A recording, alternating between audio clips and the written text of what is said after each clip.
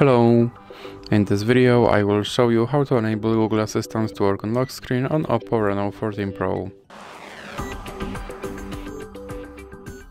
So you have to start by opening your Google application, then click on your avatar and now go to settings. Then click on Google Assistant and click on uh, voice match. Then click here on Hey Google and click on more and I agree. Then click on more and I agree again and click next. Now click on return voice match model. Uh, hey Google, help me write a thank you note. Hey Google, what's the weather tomorrow? Okay Google, explain how a rainbow is formed. Okay Google, set a timer for 5 minutes.